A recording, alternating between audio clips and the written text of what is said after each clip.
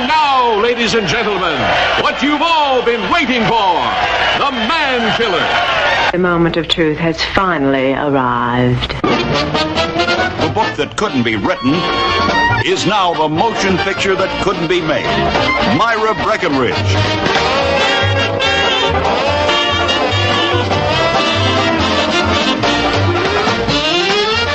I'll be right with you, boys. Get your resumes out. Memo to Flagler and Flagler attorneys. Dear Charlie. Hmm, honey, that feels real good. Hey, uh, what's your name, honey? I'm Myra Breckinridge. You have a lot to learn.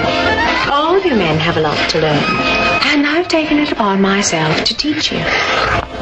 I'm the widow of your late nephew, Myron, and I've come to collect a half a million dollars.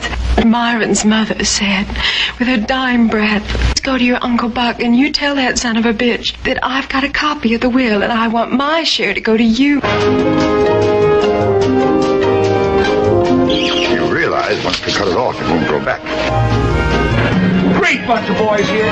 Of course, you get the occasional weirdo, uh, uh, like anywhere, but uh, greatest bunch of kids in Hollywood. Have all the kinky angles that are in right now. I mean, have you any that I don't know about? Oh, Leticia, What about studs? they don't call you the queen of the casting couch for nothing.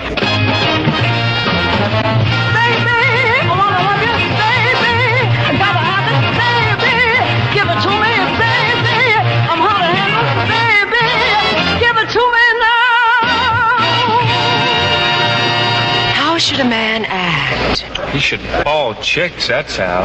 Let's just have a nice girly evening, and I'll tell you how I lost my virginity. You tell me how you lost yours. If only you were a man. You can't tell the wolf from Little Red Riding Hood these days. Because this uh, Myra Breckinridge is more than a match for most men. Don't miss the most sensational scene in the history of the screen. Not there.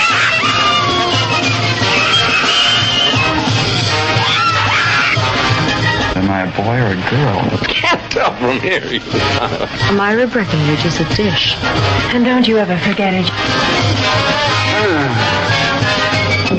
Here I Everything you've heard about Myra Breckinridge is true.